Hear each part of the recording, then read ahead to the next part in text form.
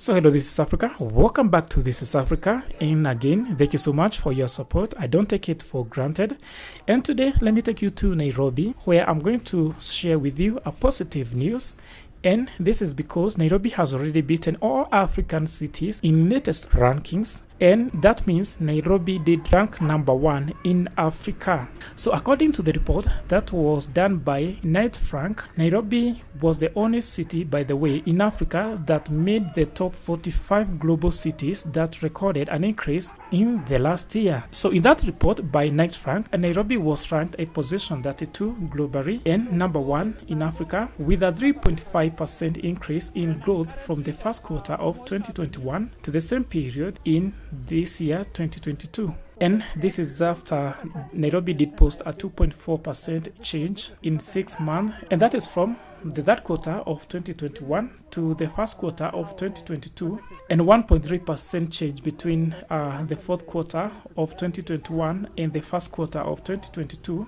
So I do know that by now you might be wondering uh, what led to this increased performance, and this performance was driven by increased demand for housing that did result from several factors like growing middle income class and the recognition of Nairobi as a regional hub. And when you talk about regional hub, in this case, we usually talk about uh, East and Central Africa, which we do know by now that uh, the Nairobi is the financial capital, or we usually say Nairobi is the capital of the East and Central Africa region. And obviously, this did lead to a lot of investments. So this performance was also due to Kenya's high urbanization growth rate, which currently stood at 4.0% or 4%. And this is quite high if you compare it to the world's 1.8%. So now let us look at the city that did rank number one, which is Dubai. And we do know that Dubai, which is a city in uh, United Arab Emirates, uh, recorded the highest year on year capital appreciation, which stood at 58.9% with a quarter on quarter appreciation of 6.8%. So we do know that Dubai is one of the city in the world that has mega